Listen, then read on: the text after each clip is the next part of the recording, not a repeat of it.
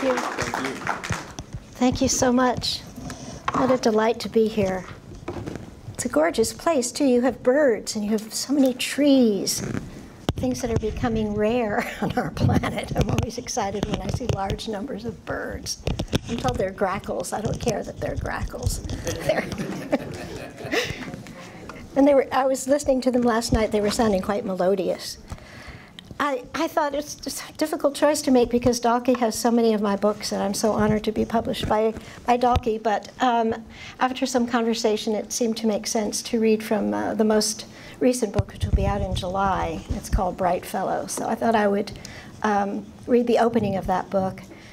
Also, it makes for a, a continued narrative, so it's much easier to, to follow. So begin with Bright Fellow Part 1, and uh, what will happen with the book is that from Part 1 we'll make a leap into the future of this young, young child's life. So we'll see him again as a young man and uh, a runaway and a stowaway on a college campus. But these are his beginnings. It's a book very much about, among other things, uh, the betrayal of, of childhood. The linoleum swells with stories as he plays, darkness rises from the floor and slowly claims the room. Outside, a heavy rain falls and then it ends. Outside, the world spins and he is the only one alone. He cautiously steps from one island to the next, cautiously. His feet are bare and small. Sometimes he considers them with curiosity. He doesn't know he's beautiful, he doesn't know he's lonely and that his fear is not of his making, that it will haunt him for the rest of his life. It will impede him years from now, twist and turn him, just as an incessant wind twists and turns a tree, just as it will in unexpected ways nourish him. Yes, it will both nourish and impede him, and this is a terrible thing. How can he undo such a tangle? The damage already there is subtle, as is its progress. It reaches for the future like smoke. The world bends beneath the weight of such malfeasance. There is a smell to it, a flavor and a mood, a familiar weather, although he is six only, six. He is accustomed to it. It is the atmosphere that sustains his tirelessly imagining mind. Oh, how tirelessly he dreams. He cannot know it, but already he yearns to live richly, that is to say, deeply and with excitement. He is thirsty but it does not occur to him to drink. To begin, it is late in the day, early evening, and he is alone. He is a good child, far too good for his own safety. The house is in shadow, the woods beyond in shadow, and behind his door, the familiar rooms, all are in shadow. One day the word penumbra will appeal to him, but he is too small now to know it. He plays at explore. It is his way of claiming and knowing those charmed islands that burn, so brightly in his mind. Here, he says, his head tilted to one side, are antelopes. Antelope, a word he loves. Parrots in the trees, parrots with beaks made to crack nuts and with wings strong enough to master hurricanes. He draws a breath and crossing over to the next island, the island of elephants, blows it out. Trumpeting elephants, their toes fused together, and snakes, even more beautiful than the garter snakes that live in the backyard where the sumac grows. More beautiful than the copperheads that rule the woods where he walks sweeping the paths with a stick just as if they were planted with explosives. Poised on one foot, he says, Be careful. Again, he dares confront the linoleum's treacherous waters. Giraffes, he nods, greeting them, coming to rest. Solidly planted and still, he looks at the world around him. The islands are all alike gold-colored blossoms floating on an indigo sea. Volcanic islands with lakes, caves, quicksand, how he loves these islands, these epic journeys. There is an archipelago that begins under his bed and goes all the way to his door. It shines with beauty and danger. There are flowers that have voices and sing to children. There is a poisonous toad that speaks in riddles, and the wrong sort of snake, thick as a chimney, concealed in the dappled light. Beyond the door is the bathroom he needs to visit but dares not, as well as the kitchen, his parents' mysterious bedroom, a place of disquiet, the living room, the small dining room where he likes to draw pictures because the table is so big his crayons cannot roll all the way to the edge and fall to the floor. Crayons, he thinks, are like baby snakes in rigor mortis his mother's, words. But the linoleum, it's risky. If he continues this way, naming the mountains and the animals, he might wander too far, might not find his way home. The sea is black, the islands dimmer by the second. The yard outside, every room in the house have surrendered to a night lit but barely by a moon broken in half. Island by island, he must step to the light switch and turn it on, but it's so dark he can barely see where he is going. He might take a wrong turn and tumble onto a star headed for Mars. He really needs to pull himself together now and make his way to the light switch in the bathroom after. A car passes, briefly filling the room with light. The light is like an eye searching him out, but he has been good, hasn't he? There is no reason to be afraid. The switch is within reach. When he stumbles and with a cry falls to his knees, he touches the floor, dry land. A door slams. His mother's voice calls his name. When he reaches the light, the first thing he sees is the door's little brass head. He thinks that the doorknob must be the door's head, even if it's in a funny place, and it has a face his face. Sometimes when he is alone in the house, he hears voices, her voice, so he is not certain it is her voice now, or if the steps coming down the hall towards him are hers, or who she will be, his mother, or the one he dare not name. Stub, she calls out from the hallway, Stub. The little face on the door turns. He watches it turning, and she's there, his mother, bending to hug him, saying, Poor little fellow, in the dark, dark house, all alone. She dispels the shadows, all of them. It is astonishing the radical shift that takes place. The world is back on track, a thing she likes to say, back on track for now and maybe forever. And there will be Chinese noodles. The boxes are on the kitchen counter, and a hard head of lettuce, the sharp kitchen knife, the green and white crockery from Mexico. When she's in a good mood, she says, Let's put some crunchy crackers on the crockery and chow down. And he will laugh. He will be one with laughter. If you could peel him like an orange, you would find laughter all the way through. This is how it should be. Why isn't it always like this? Chinese noodles and crackers and crockery and caresses and laughter from the top of his head to the tips of his toes. She's so beautiful, he wishes he could scramble onto her lap, but she's leaning over the kitchen table with the green and white dishes painted with leaves so round and pretty they make him glad, like a cat that has had its milk or a tree in the early morning full of singing birds. This is what her magic does to him, her white magic. His mother has a radio show.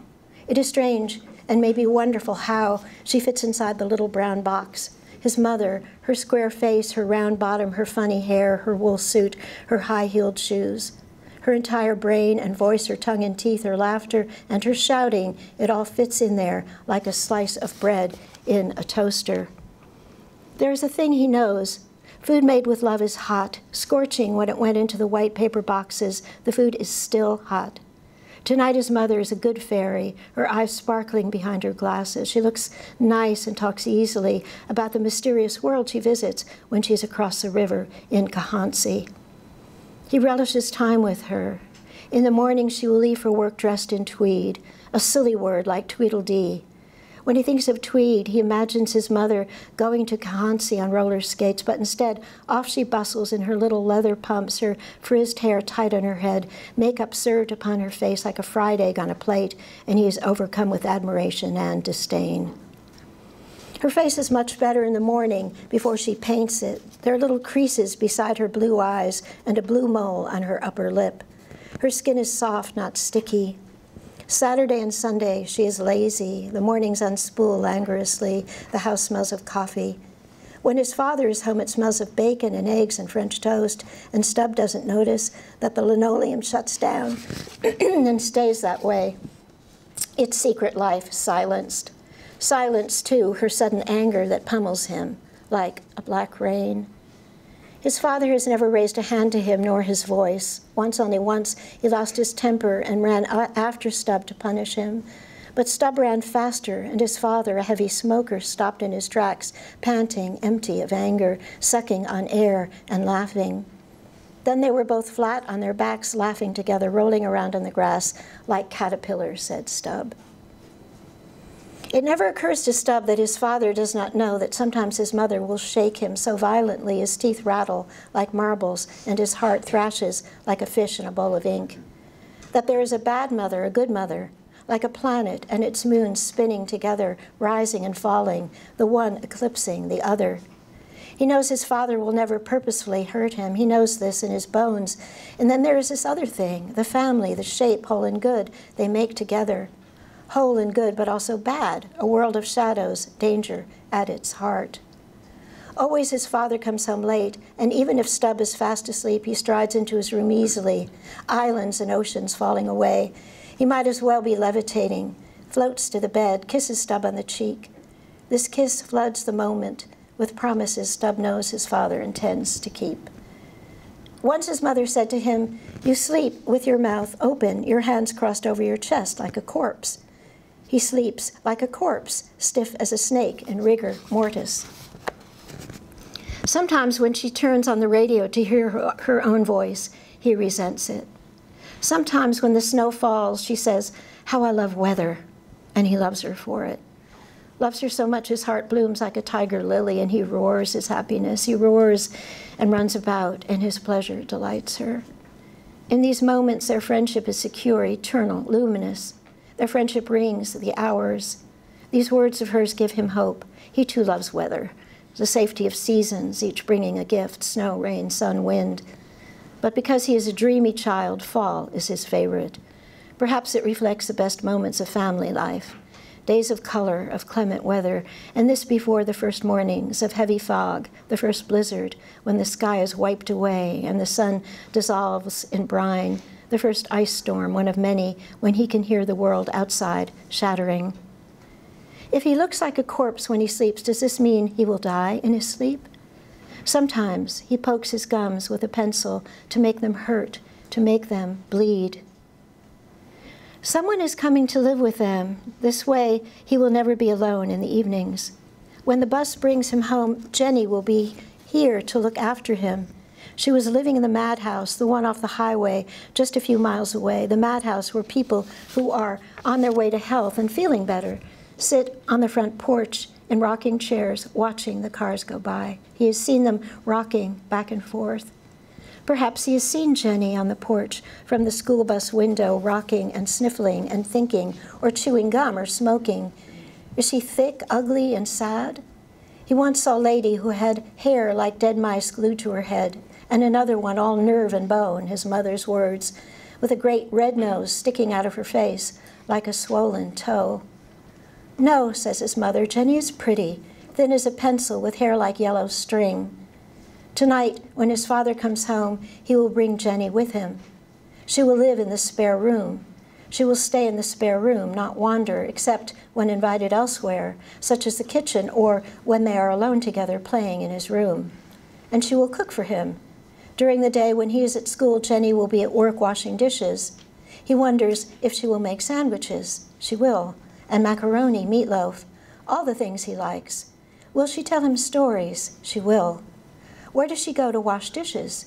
Annie's up the way. Jenny likes to put her hands into hot, soapy water. Soapy water is what she likes better than anything. When she comes to live with them, she will wash her hands over and over, and Stub will fall asleep to the sound. Jenny's hands thick with suds like sheep's wool. He will lie in bed listening. Clocks will dissolve, and the passage of time will take on the shape of a heart. Stub will think, that is the sound of sweet Jenny washing her hands. She is on the mend, but she is still crazy, sort of. And this is how we know the suds filling the sink, night after night, like lambs.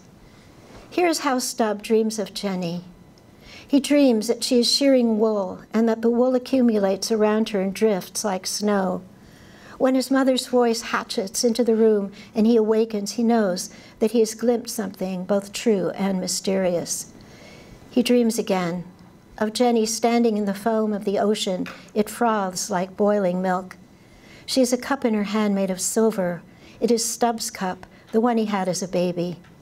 Jenny dips it into the foaming sea and offers it to him. It tastes like milk sweetened with honey. When Stub awakens, every hour of that day is diaphanous. One afternoon, when Stub has returned from school and the orange bus, bus has vanished behind the hill, and he is in the kitchen with Jenny eating ginger snaps, he hears his mother's voice on the radio and puts his hands over his ears. We can turn it off, Jenny says, and she does. The delicious aroma of subversion fills the room, and Stub radiates with a cool plume of light. How easy, he realizes, to shut the box off. That day, something happens that greatly matters, something good, but also dangerous and funny. When Jenny turns the knob and he laughs out loud, she joins in.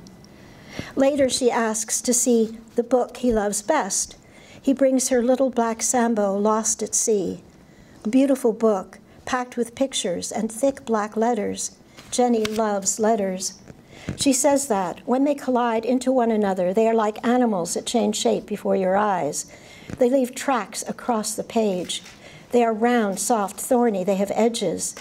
The letters come together, she whispers right into his ear, in order to delight, to derange us. They come together, they hold hands, they caress, they bruise one another, they force the soul down deeper. They make us thirsty for unimaginable things. They shake their limbs and dance. The page is their stage. They make music. See, that H looks like a harp. Is it true, Stub whispers into her ear, that they burned a hole into your head? Yes, she whispers back. There was an intruder, a poet, I think, sitting inside my head on her very own chair. So someone thought to, someone thought to, look. And she points to another letter like a person wanting to say hello. Little Black Sambo is sitting on a big box of oranges floating in the middle of the sea. Oh, he says, good thing I'm sitting on this box of oranges. If you close your eyes, Jenny said, leaning closer, and think about that letter O, you can smell the rind and see the seeds inside.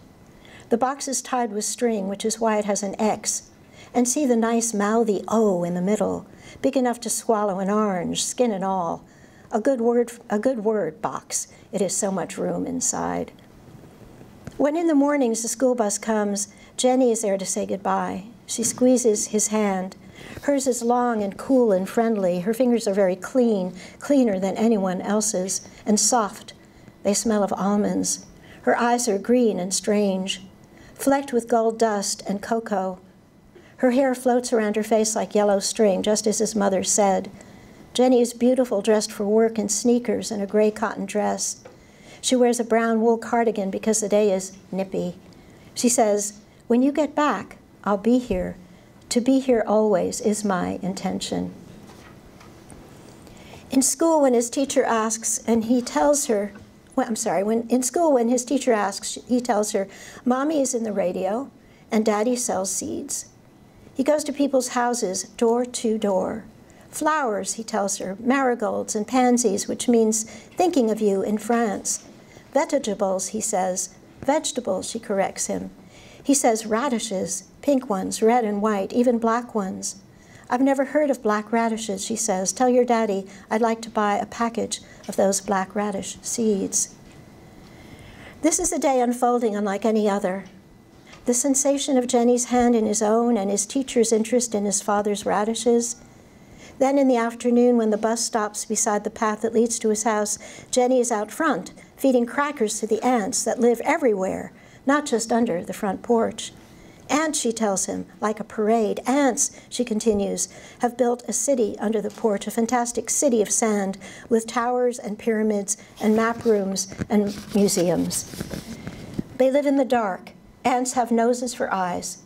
They sleep under the best smooth stones. There are corridors more than anyone can count. Ants don't have doorknobs. They fear anteaters, ant-eating birds, little boys who do cruel things with mirrors. Understand, she says, that this is a warning. He assures her he loves the ants too. At the center of the ant city, there is a park and a long table set for community suppers. The plates are made of toenail trimmings people have left unattended on the bathroom floor. The ants go into the house just as soon as people leave to look for them. They look for the things people have abandoned in corners, under the living room couch, behind the crockery, in the bread box, between the pages of books, in the deep creases of the upholstered rocker, in his father's sock drawer. My father's sock drawer! Stub explodes with laughter. And the pantry. Jenny picks up a twig and pushes it around in the grass. Above all, the pantry. Grain by grain, they make off with the sugar, the flour, the honey grams, ginger snaps, the lost buttons. Lost buttons? Yes. A button is a fantastic weapon when you are an ant. When the ants go to war, it might look like a game of tiddlywinks to you and me, but a button sent flying into an anteater's eye will send it packing, let me tell you. There are islands in my room, Stub tells Jenny. Would you like to see them? That weekend, his father comes home. He carries a small false leather suitcase for his shirts and underwear and an orange leather valise with brass bumpers and tacks. Inside, packages of seeds are tucked in careful rows. To see the valise open stuns the senses, Jenny. Who could have known how beautiful packages of seeds can be? Even the radishes are a revelation. The purple beets look like people, Jenny says, all tummy with leaves. Things from another newer world Somewhere, she decides, vegetables are as prized as rubies. Somewhere, people make ruby soup and rings out of radishes. He can see that Jenny makes his father uncomfortable. Night settles in. Jenny eats a sandwich in her room. Then, even as they are still at supper, she starts sudsing her hands. That night, he dreams of ants overtaking the house. They get into the radio and walk off with his mother's voice. Outside, the air is thick and fast with fistfuls of greasy snow. The following evening, his father is stuck upstate, and his mother is stranded in Cahansi. Stranded is sweet sugar on the tongue. He imagines his mother standing alone in a cold room, looking out the window with a frown on her face. Fully dressed in her winter coat, muff, fur hat, fur lined boots, and gloves, she has run out of things to say, and she is frowning. Wires are down. Streets are still. Jenny makes rice. They spend the next day at the kitchen table building houses out of stiff paper, held together with tape and glue. A hardware store, a barber shop, a post office, a firehouse, and a water tower. Jenny makes bologna sandwiches with tender Wonder Bread and pungent mustard, and after lunch they build a bell tower because a town needs a bell tower in case of emergencies. Emergencies, they make a list consist of fires, enemy attacks, meteors, people running amok. Wolves can overtake a place, and so can outlaws. We need a cemetery, says Jenny. A bakery, says Stub, with pies in the window. They build a water tower with legs made of pencils that refuses to stand up. This water tower, says Jenny, has a mind all its own. I'm putting cracker crumbs in the bakery, says Stub, to make sure the ants come by to check this all out. Jenny proposes a hotel for insomniacs, an observatory from which to consider the question just what sort of cheese is the moon made of? A river that spills all of the world's anger into a pool where everything sighs. That night they sleep together like brother and sister. The snow keeps on coming, and in the morning there is so much of it banked up against the front door they can't open it. They eat bologna and rice pudding and spend the day making a library stacked with important books for elephants. The nature of trumpeting, how to protect your assets. She figures out a way to keep the water tower from falling over. When the telephone rings, they are in the thick of it and cannot, do not answer. Jenny says, That will be your mother. Stubbs says, I'd like pygmies to live in this village. We'll make a jungle says Jenny, and put the village smack in the middle. That way they can play all day in the jungle and come home at night and eat pie. Jenny turns up the thermostat.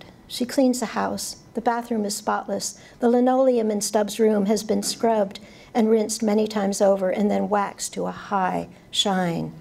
Words you can say breathing in and out. Breathe in, high. Breathe out, shine. A magical incantation. Jenny and Stub breathe together, stepping from island to island on the sparkling linoleum. Can you, he asks, hear the elephants? Yes, and I can already see them, swimming light as bubbles. Looking at their legs, the fish think they are looking at dead heads. Fish have very short memories. If an injustice is done to them, they forget all about it. You can hook a fish over and over. Its mouth bleeds and it wonders why. If you hook it, gut it, clean it, cook it, eat it, digest it, shit it, it will not remember. But elephants remember everything, just like we do. Late afternoon outside, the white witches of the air are busy packing up their needles and bits of unfinished tatting. Mother is trapped in Cahansi. Stub says, trapped in Cahansi. Jenny agrees. Trapped in a teepee, Jenny dares. Trapped in a teepee, laughs Stub. The phone rings and rings, and then it stops. Jenny fetches a book from her room by Werner Vanderloon, an old man who lives in seclusion somewhere by the river. A book with pictures as strange as the strangest thing you can think of. A small book bound in green leather, almost black, with silver letters pressed into the cover. Stub rubs a finger over them and, with Jenny's help, reads Ancient Roots and Ways. I stole it, Jenny whispers, from the halfway house. She explains that the halfway house is where she was when she was halfway here, on her way, although she didn't know it yet, to him, to Stub. Now, now, she says, putting her arm around him when she sees the familiar troubled look on his face. I've always been halfway here, you know, until I got here. Look at this. Jenny opens the book, and there is a picture of the skulls of apes baboon, orangutan, gorilla, chimpanzee. She reads the names aloud to him. From that moment, he cannot look at the letter B without seeing the skull of a baboon. Jenny turns a page, and together they look at the skulls of men from long ago before they were people, when they were only halfway here. You know, Jenny tells him, we still have our monkey ways. The next day, the sun is shining, and the snow truck elbows past. There is a deep white road where minutes before there was none, a deep white road like the one his father is taking south, his winter hat on his head and his beautiful valise beside him. His mother, too, is traveling on roller skates with wheels spinning so fast they are invisible. His mother tears down the white road in her tweeds all the way from Cahansi across the frozen river, carrying her lipstick and her keys, a brown paper bag with a fresh package of margarine, one blood red spot smack in the middle, her hair fried and stuck to her head. Or maybe she will breeze in with hot Chinese noodles and a story she will tell them breathlessly, happy as a lark. Or she'll come in angry, steaming, shouting, Why didn't you answer the phone? and smack Stub and smack Jenny, and Jenny will break apart, and all her pretty pins and springs will spill out across the floor, and that will be that. Ever after, he will wonder, why was Jenny sent away? Two years later, his mother too disappears, wanting more of the world, more of life. And there they are, Stub and his dad sitting in silence, face to face, the favorite green and white dishes scowling and cold to the touch, the linoleum purged of magic, and Stub breaking the silence with another nagging question, the only question. Why can't we bring Jenny home? Because another mouth to feed. Jenny's mouth a big, hungry O, eating the orange, seeds and all. Besides, no one knows where she's gone. Cahansi, maybe. Not Cahansi. Maybe Onika then. People don't just disappear. They do all the time. His dad's valise replaced by a box of plumbing tools. Lonely work. Sometimes it's hard to persevere, his father's words. So that's it, guys.